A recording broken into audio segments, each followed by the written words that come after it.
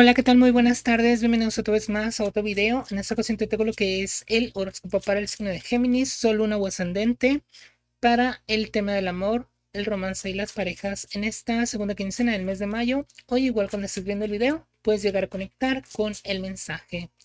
Vamos a ver qué viene para ti, Géminis, en este periodo o en esta quincena.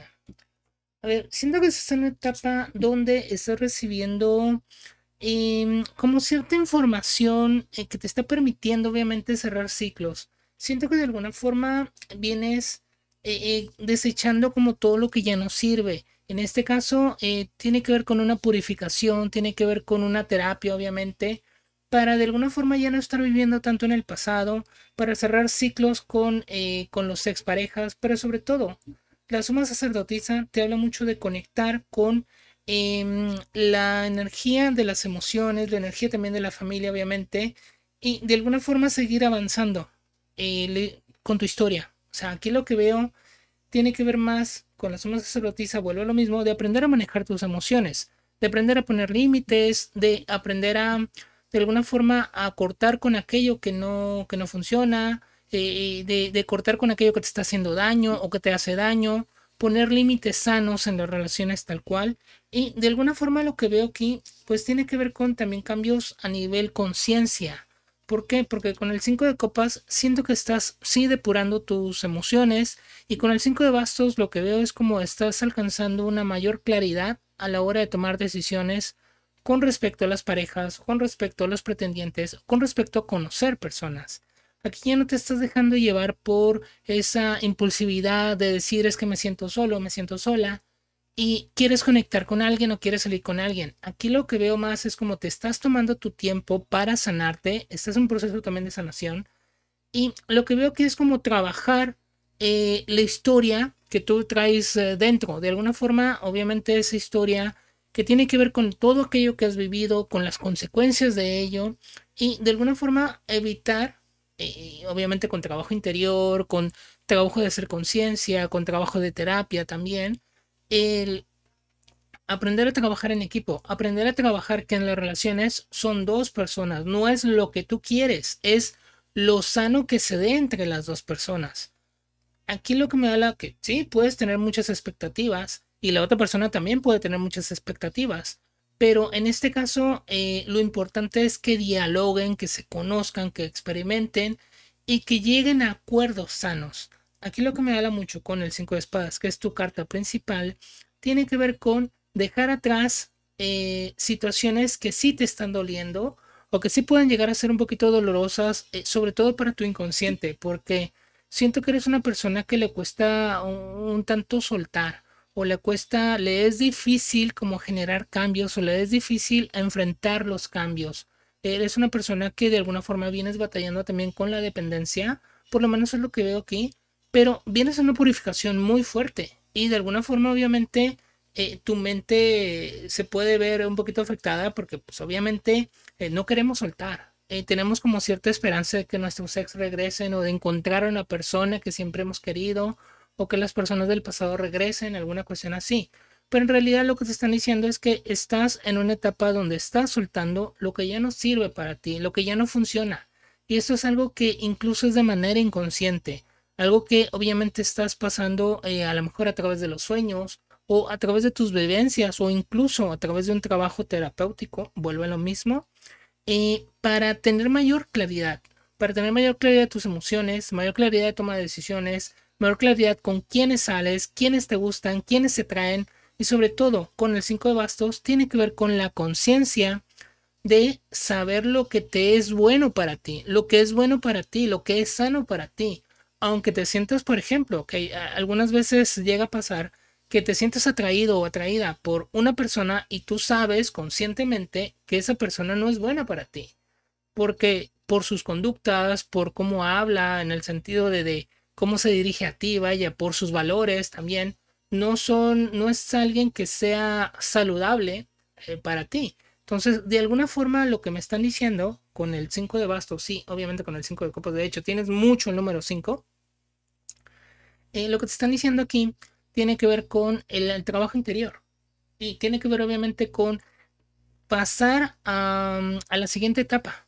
Es decir, Una vez que estás trabajando, que estás depurando, pues claro que pones, eh, como que tienes más espacio para que lleguen cosas nuevas y cosas desde otra vibración más positiva, más bonita.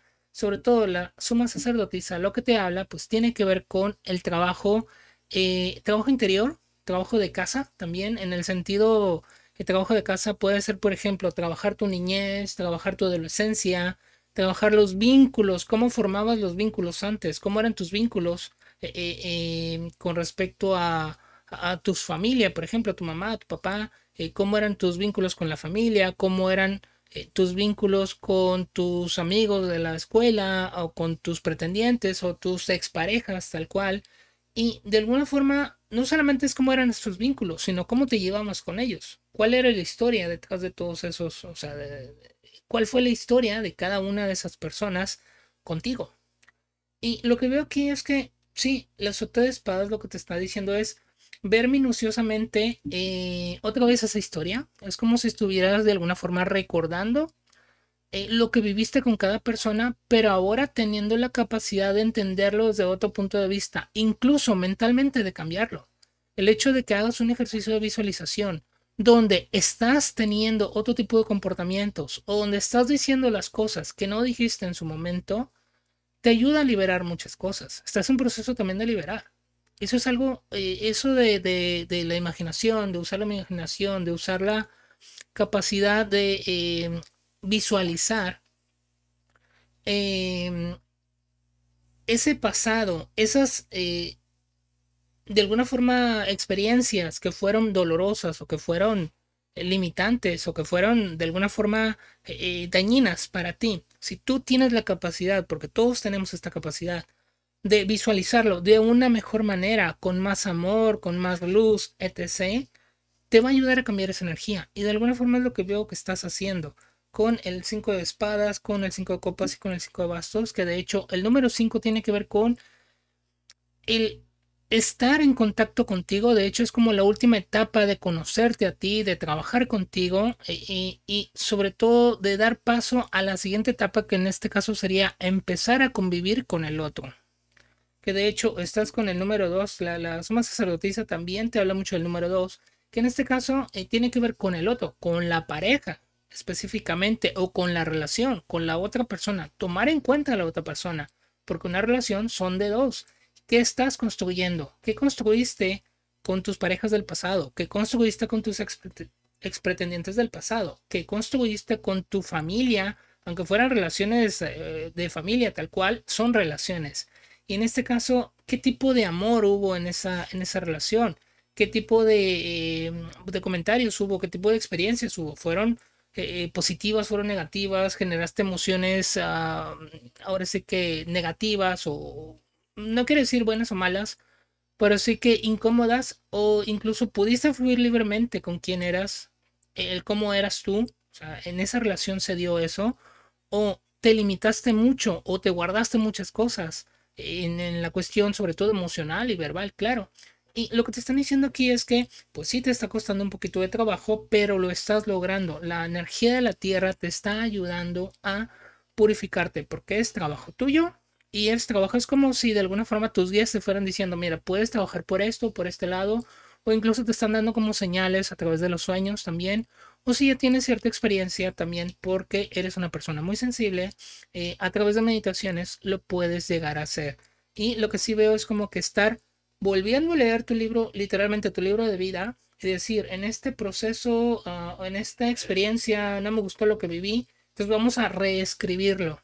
Entonces, de, de ahí vienen obviamente este tipo de, eh, de trabajos interiores, eh, ya sea con el terapeuta, ya sea con el psicólogo, ya sea también obviamente en meditación, eh, o simplemente un ejercicio de visualización para que puedas cambiar estas energías. Pero sí, lo que veo es que estás cambiando, o sea, estás en un proceso de sanación muy fuerte, muy profundo y sobre todo estás de alguna forma el, tratando de avanzar a la siguiente etapa de una manera más sana. Hasta aquí el video, te deseo lo mejor, que vengan muchísimas bendiciones y nos vemos.